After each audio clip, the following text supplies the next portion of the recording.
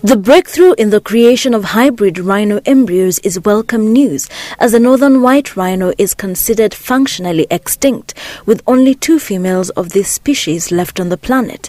During the procedure, the international team of researchers successfully managed to adapt reproduction techniques used in horses to the special circumstances of rhino species opening up the potential to bring back the northern white rhino from the brink of extinction.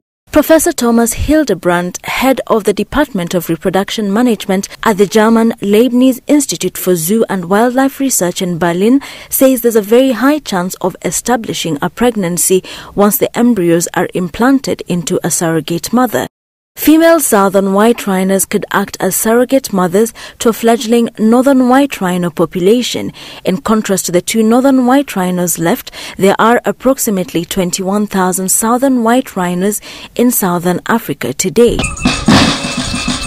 In March 2018, the last male northern white rhino, Sudan, died of old age. Both of the last two northern white rhino females reside in custody at Ol Pejeta Conservancy near Mount Kenya, and here they will remain as scientists seek a blueprint on how to save highly endangered species that have already dwindled to numbers that make conventional conservation efforts impossible.